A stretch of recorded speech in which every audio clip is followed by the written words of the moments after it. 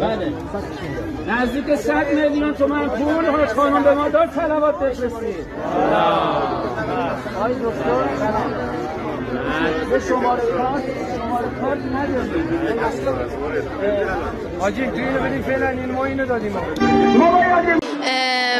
جبهه مقاومت.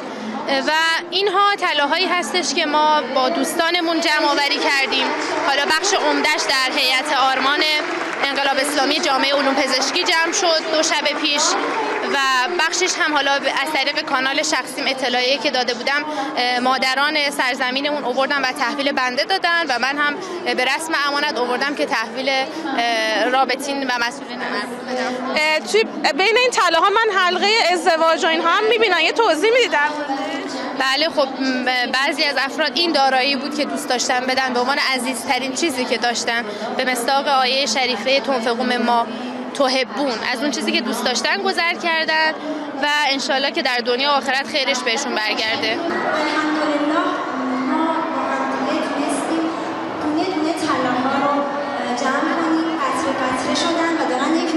کشوری و موج جهانی ایجاد می‌کنن و انشاءالله این ها چنان موج و جریان ایجاد کنه که برسه به دست آقا امام زمان طلا ارزشمندترین چیزی بوده که ما البته مادر ایرانی چیزای ارزشمندتر از طلا هم داره جان بچه هاش همسرش این طلا فقط یک گوشه ای از این ارزش های یک مادر بوده یک زن بوده ما انشاءالله باید امر ولی در زمینه تبیین در زمینه غزه رو انجام بدیم در زمینه فلسطین که دقدقه همه مادران ایرانی بشه و هست.